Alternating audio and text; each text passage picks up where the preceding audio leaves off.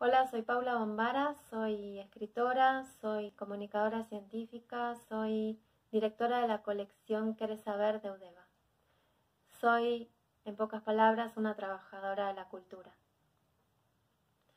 Muchas veces los escritores, las escritoras nos embarcamos en proyectos por el solo placer de hacerlos. Quizás duran años sin tener ninguna garantía de que van a ser publicados. Otras veces las editoriales nos encargan trabajos o nos invitan a ser parte de proyectos.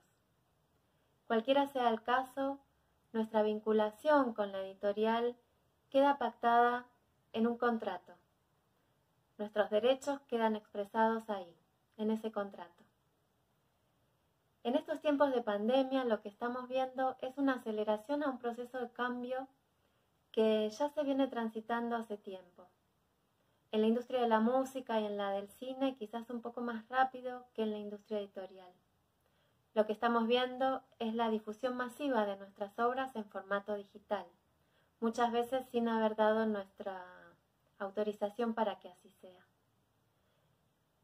Eh, en estos casos nos vemos en una encrucijada porque como lectora yo defiendo el derecho de acceso a la cultura y como escritora, en ocasiones veo vulnerados mis derechos de autor.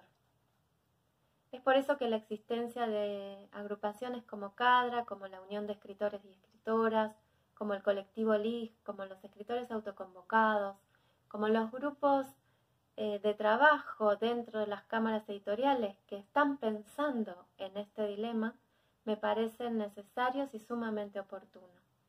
Es tiempo de crear nuevos modelos de negocios, es tiempo de repensar las vinculaciones entre las personas que escribimos y las editoriales, de manera tal que a la vez se garantice el acceso democrático a la cultura, pero que sea sin vulnerar nuestros derechos de autor.